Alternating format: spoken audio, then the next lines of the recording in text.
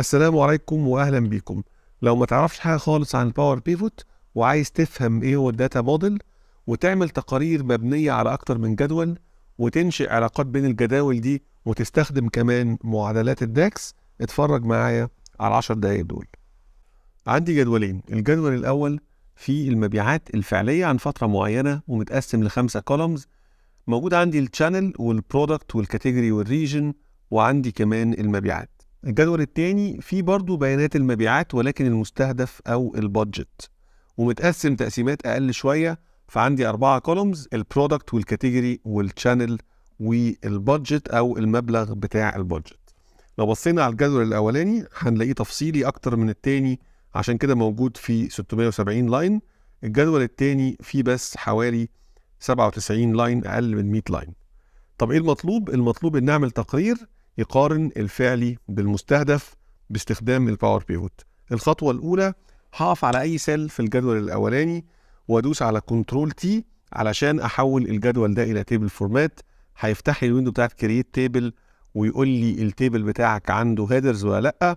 هدوس على OK هيحوله لي على طول إلى table لو أنت مش عايز ال formatting اللي هو عمله ال custom format ده ممكن أروح على table design ومن table styles وأقول له لو سمحت هات ال light يبقى تقريبا ما غيرتش أي حاجة في ال format أو في ال layout وأنا واقف برضو على نفس ال table من table design على الشمال هلاقي ادى اسم اوتوماتيك ادى table 2 يفضل جدا أديله الاسم ليه معنى. طبعا هو مش لازم ممكن يشتغل باسم table 2 ولكن أنا بنصحك وبفضل إنك تدي اسم تقدر تفتكره أو يكون ليه معنى بالنسبة لك فهسمي ال table ده actual ال table التاني نفس الكلام control T هدوس على okay table design هختار light table 3 هسميه المرة دي budget الجدولين دلوقتي كل واحد فيهم بقى table format وكل table منهم بقى ليه اسم. عشان أقدر أعمل تقرير ياخد data من جدولين في نفس الوقت باستخدام ال Power Pivot أول حاجة محتاج أحدد الأعمدة المشتركة بين الجدولين.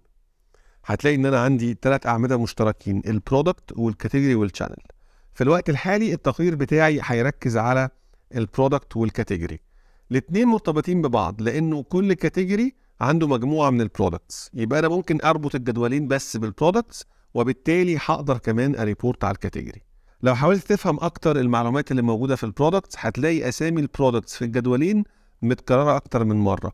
يعني مثلا ال brakes هنا متكررة وهتلاقيها برضو هنا متكررة. ال cargo bikes هنا متكررة وهتلاقي برضو أختها متكرر في الجدول بتاع ال actuals يبقى الوضع الحالي مش هيساعدني إن أربط بين الجدولين باستخدام ال product لازم أعمل لهم جدول ثالث هعمل جدول ثالث ده من ال two columns دول مع بعض. فهختار أي cell في ال column بتاع ال product وهدوس control space مرتين فهختار ال column كله وبعد كده ادوس shift وسهم يمين control C وأجي على اليمين هنا في الحتة الفاضية دي وهقول له control V عشان أعمل paste فكده بقى عندي جدول ما فيهوش غير بس اتنين column ال product وال category لكن لسه ال product فيه تكرارات فمحتاج أشيل التكرارات اللي موجودة فيه.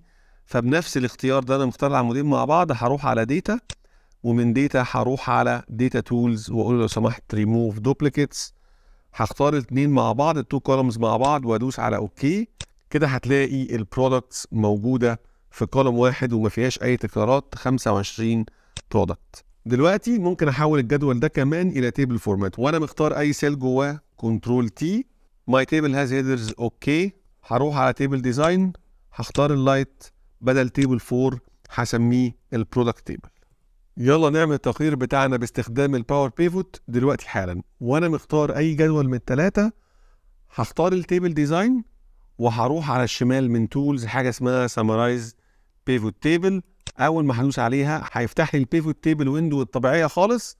كل المطلوب مني أقول لو سمحت add this to the data model وبدل ما أنا مختار new worksheet ممكن أقول له existing worksheet وادوس على السهم ده وهختار اي cell جوه ال sheet اللي أنا مجهزها لل pivot table وهقول له okay هتلاقيه على طول عمل لك pivot table وادي ال pivot table list وتعال نبص كده عليها هتلاقي عندك الجدول اللي بدأت منه اسمه actual ودي كل ال columns بتاعته.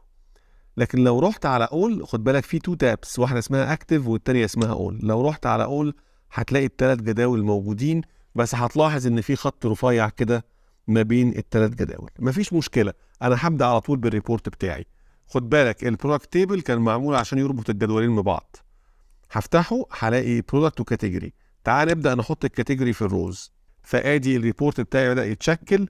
عندي الأربعة categories طب أنا هجيب ال data منين؟ ال data بتاعت ال actual موجودة في ال table بتاع ال actual آدي actual revenue هختارها هتروح على ال pivot table values لكن بص معايا هتلاقي الرقم متكرر وهو هو الرقم اللي في ال grand total ولو بصيت على ال pivot table list هتلاقي العلامة الصفراء دي معناها إن أنت عندك مشكلة أو في warning معين بيحذرك منه. بيقول لك والله أنا شاكك إنك محتاج تعمل علاقة ما بين الجدولين دول. لازم تربط الجدولين دول ببعض. اللي هم مين؟ جدول ال actual مع جدول ال product ومديك option يا إما تعمل أنت ال relation دي بنفسك يا إما auto detect أنا هدوس auto detect هيقول لك والله أنا لقيت one relationship وخلاص عملتها لك. close بص كده على شكل ال report اتغير. بقى عندي التقسيمة مظبوطة وال grand total بتاعي مظبوط. ممكن أعمل له formatting هختار أي cell من ال column بتاع sum of actual revenue و right click number format هختار currency ومن غير decimal places وأقول له okay لو بصيت بقى دلوقتي على ال pivot table fields هتلاقي الخط اللي كان بين ال actual وال product الخط ده اختفى. بس لسه في واحد ما بينهم وما بين الايه ال budget عشان لسه ما فيش relation لسه هو شايف ال budget منفصل عن الاثنين التانيين. ولو رحت دلوقتي على ال active هتلاقي ال actual موجود وال product موجود. ليه؟ لأني واخد منهم columns واحد من هنا وواحد من هنا محطوطين جوه ال pivot table ارجع تاني على all تعال نختار budget هناخد منها ال budget revenue لو علمت عليها هتروح مكانها على طول في الجزء بتاع ال values ونفس ال message بالظبط ونفس ال total المتكرر auto detect قال لك والله لقيت one relationship قول له close ادي ال report ظبط والخط اللي في النص كمان اختفى. اختار أي cell right click number format ودلوقتي حضرتك استخدمت ال Power Pivot عشان تعمل report ما بين ال actual وال budget وحطيت معلومات من ثلاث جداول جوه pivot table واحد وعملت data model يمكن انت مش شايفه قدامك لكن موجود في ال back end تعال نكمل. أنا كمان عايز أجيب الفرق ما بين ال actual وال budget هقف على أول table بتاع ال actual وأقول له right click وأقول لو سمحت add measure ال measure ده هيخليني أعمل معادلة باستخدام ال DAX جوه ال data model وال Power Pivot هعمل الكلام ده إزاي؟ أول حاجة هدي اسم لل measure ده. حسبة جديدة أو calculation جديدة محتاجين نديها اسم. أنا هسميها actual versus budget هننزل تحت ونبدأ نكتب المعادلة بتاعتنا. أنا أصلا عندي calculation اسمها sum of revenue و calculation تانية اسمها sum of budget revenue عشان أستدعي ال calculation ده جوه ال calculation الجديدة هفتح square bracket هلاقي عندي fx يعني دي calculation أو measure هختار sum of actual revenue وأقول له minus وأفتح square bracket تاني وأختار ال calculation الثانية اسمها sum of budget revenue double click وأدوس على okay ولو فتحت ال table بتاع actual ده ونزلت تحت هلاقي fx وبعديها اسم ال measure أو الحسبة أو ال calculation اللي أنا عملته ممكن أختارها هتروح مكانها على طول وهتلاقي زي ما أنت شايف الفرق أو ال difference ما بين ال actual وال budget طب مش عاجبك ال number formatting ده؟ مفيش مشكلة. هرجع على ال pivot table تاني right click وهقول له edit measure هلاقي تحت عندي هنا حاجة اسمها category ال category ده ما هو إلا ال number format هختار currency zero decimal places واقول له okay بقى عندك ال difference أهو بال currency و formatted وكله زي الفل. طب لو حبيت أعمل تقسيمة كمان بال product مفيش مشكلة هقفل الجدول بتاع actual وأروح على جدول ال product هختار product احطها برضو في ال rows تحت ال category بقى عندي ال category متقسم تحتيه كل ال products وال calculation ماشية معاك سواء على ال actual أو ال budget أو ال difference بسرعة من design ممكن أروح أقول له لو سمحت أنا عايز ال subtotal وأقول له show all subtotal at top of the group زي الفل. ألف مبروك. حضرتك استخدمت ال Power Pivot وال data model وكمان عملت DAX calculation باستخدام ال DAX functions لو حضرتك جديد في موضوع ال Power Pivot ومحتاج تعرف أكتر عن ال data model وال DAX وال Power Pivot في سلسلة كاملة من 16 فيديو بتتكلم عن الموضوع ده بالتفصيل. وهتلاقي ال link بتاعها على ال screen دلوقتي حالا. كمان هتلاقي link تاني للمحاضرة الأولى من سلسلة تحليل البيانات باستخدام أدوات مايكروسوفت تحديدا Excel و Power BI.